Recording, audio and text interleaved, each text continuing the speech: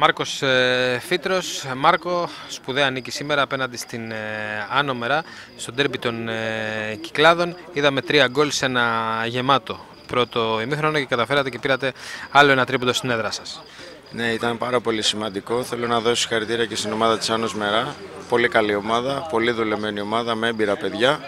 Εμείς από τη μεριά μας ακολουθήσαμε πιστά το πλάνο του προπονητή, να πιέσουμε ψηλά από το πρώτο σφύριγμα.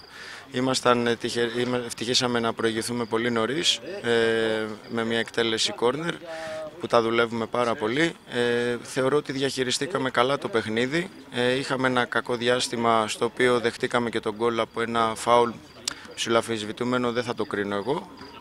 Είχαμε πάλι καθαρό μυαλό, συνεχίσαμε να δουλεύουμε και να πιέζουμε με τον ίδιο τρόπο.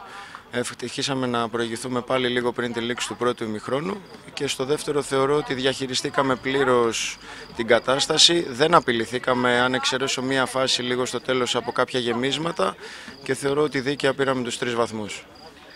Η ομάδα σας άλλαξε κατά πολύ το καλοκαίρι. Σιγά σιγά βλέπουμε να βγαίνουν κάποια πράγματα που δουλεύατε κατά τη διάρκεια της ε, προετοιμασίας. Τι να περιμένουμε στη συνέχεια; Σίγουρα είμαστε 17-18 καινούργια παιδιά και σίγουρα θέλουμε χρόνο. Δεν είχαμε πολλά φιλικά προετοιμασίας. Ε, αλλά το θέμα είναι ότι παιχνίδι με το παιχνίδι, κερδίζοντας και πόντους και νίκες, αυτό μας κάνει πιο δυνατούς και μας δίνει και χρόνο για να δουλέψουμε για τη συνέχεια και να είμαστε πιο έτοιμοι και για να πετύχουμε τους στόχους μας. Ευχαριστώ πολύ. Να είστε καλά, καλή συνέχεια.